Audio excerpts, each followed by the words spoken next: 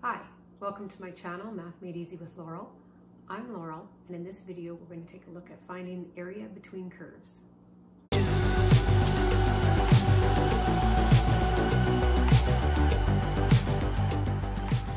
We previously talked about finding area below a curve or under a curve and above the x-axis. So if we had a general curve f of x and we wanted to find the area of this region from x equals a to x equals b, we can do so by finding the definite integral of f of x dx from a to b. Now what we're actually doing when we find that area is we're finding the sum of all these tiny, tiny rectangles inscribed under that curve from A to B. So they're minuscule, I've, I've drawn it here, but they're just slivers.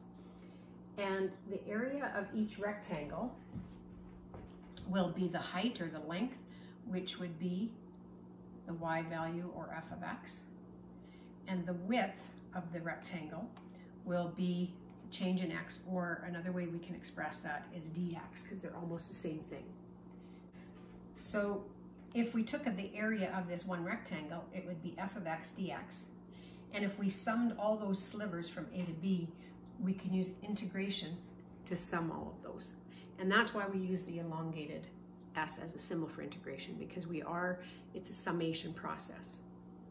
So what I want you to understand here is that the length of the rectangle is f of x, and the width is dx. We multiply those together to get the area of one of those rectangles, and then we sum all of those multitude of rectangles from A to B to get the total area. We're going to use that idea. It's going to be fundamental for what we're going to do with area under the curves and volumes and centroids and so on. So I, I hope that you can understand that concept because what I want to do now is apply that concept to area between curves. So let's take a look. When you're asked to find area between curves, we're always going to name the top curve f of x.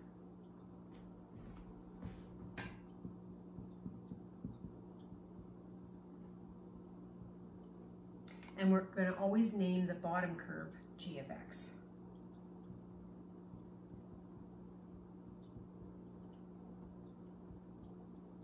To find the area between those curves from x equals a to x equals b, we're going to find that representative rectangle and describe the length of that rectangle and the width. So to describe this length here, it will actually be this y value, or f of x, minus this y value, g of x. So this value here will be this, f of x, minus this, g of x, to get f of x minus g of x. The width is dx.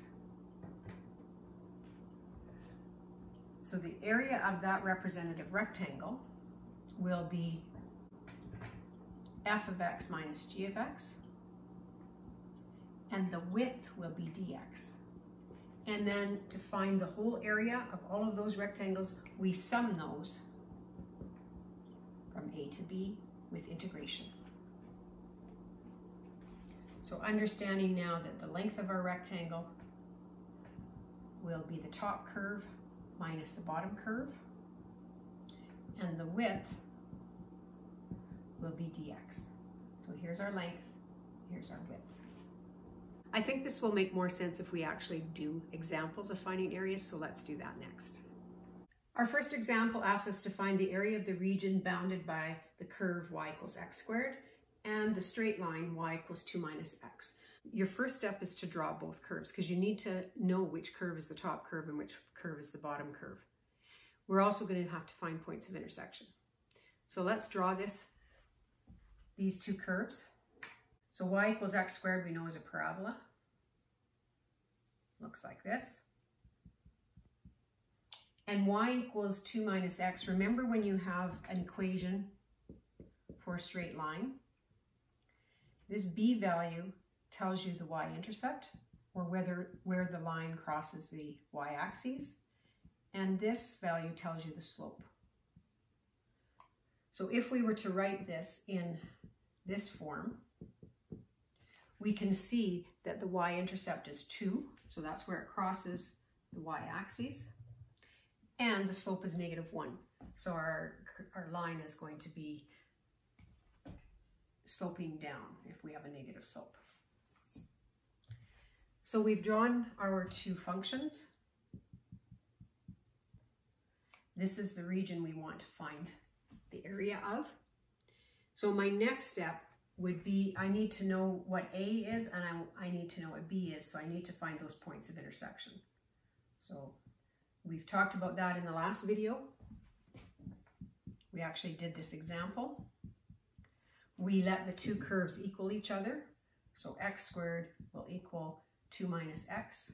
And we solve this equation. It's a quadratic equation. I'll move everything over to one side and make it equal to 0. We factored, so x plus 2 and x minus 1 were the factors. You could also use your quadratic formula. My two points of intersection are when x plus 2 is equal to 0, so x equals negative 2, and when x minus 1 equals 0, or x equals 1. So we're going to be integrating from negative 2 to 1. Let's set up our integral. So the area of this region will be the integral from negative 2 to 1 of our top curve. So that when you think about our representative rectangle here, it's going to be defined by this y value minus this y value. So it's going to be negative x plus 2 minus x squared dx. So this length will be this y value minus this y value. The width is dx. Now, when you're doing these integrals, you always look to see if you can simplify, because often you will be able to combine like terms and so on. We can't simplify here. We don't have any like terms, so we're just going to go ahead and integrate. So our area will be, we integrate each term, so negative 1 half x squared plus 2x minus 1 third x cubed. And then we evaluate it. So we put a 1 in, we'll get negative 1 half plus 2 minus 1 third minus, now we put a negative 2 in our function. So negative 2 squared is positive 4. Negative 1 half times positive 4 will be negative 2. 2 times negative 2 will be negative 4. Negative 2 cubed will be negative 8. Negative 8 times 1 third will be negative 8, one, negative 8 thirds, and then times by another negative gives us positive 8 thirds. Let's find this value. We're going to have, our lowest common denominator here is 6. So we're going to have negative 3, 6 plus 12, 6 minus 2, 6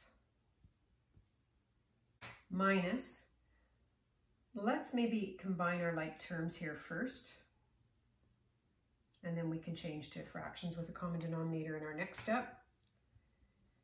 Here I'm going to have 12 minus 3 minus 2 would be 7, 6.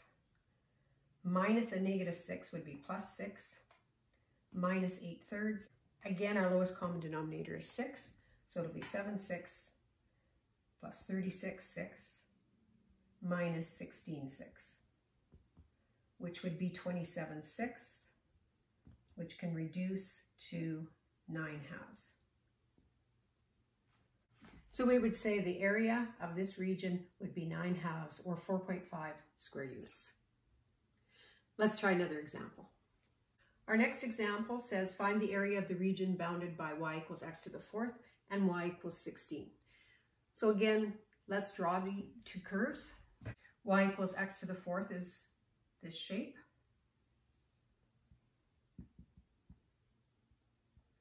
y equals 16 is a horizontal line.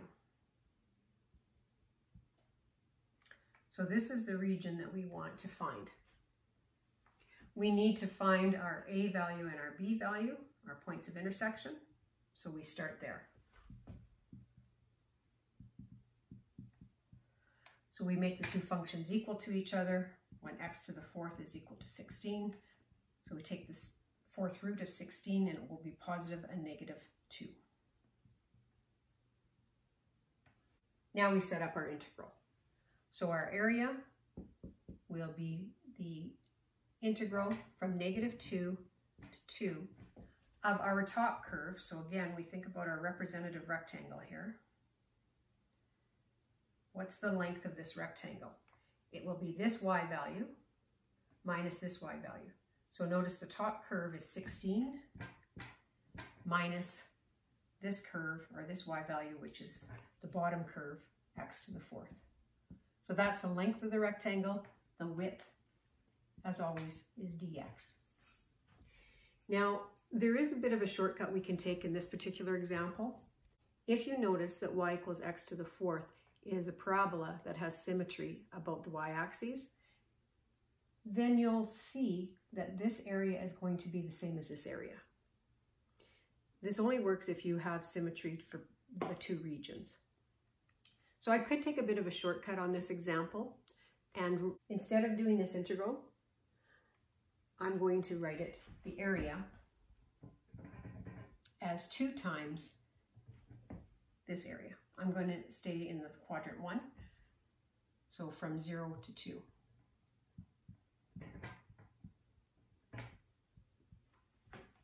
You can do it either way. It's always easier if, if one of your limits is a zero.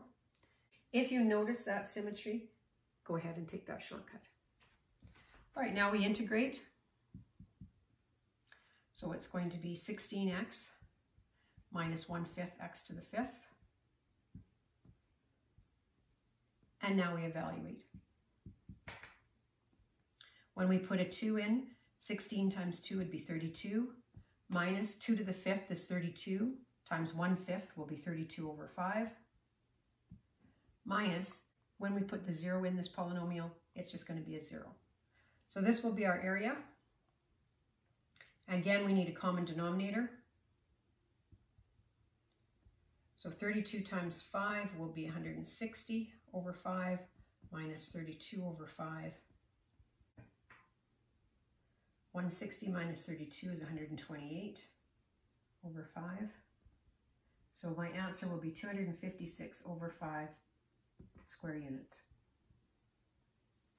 You could write that as a decimal as well. I usually leave the minus fractions. I recommend that you practice finding areas between curves, um, going through the process that we went through here. Sometimes it's going to be necessary to work with horizontal rectangles instead of vertical. So we're going to address that in the next video. But make sure you've had some practice doing this type first. All right, take care and we'll see you.